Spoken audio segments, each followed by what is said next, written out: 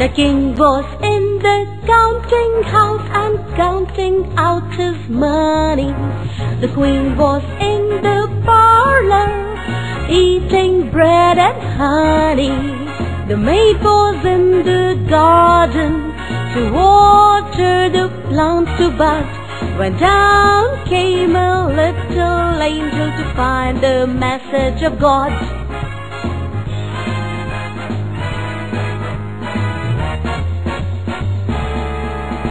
The king was in the counting house and counting out his money. The queen was in the parlor eating bread and honey. The maid was in the garden to water the plants to bud. When down came a little angel to find the message of God. To find the message of God. To find the message of God.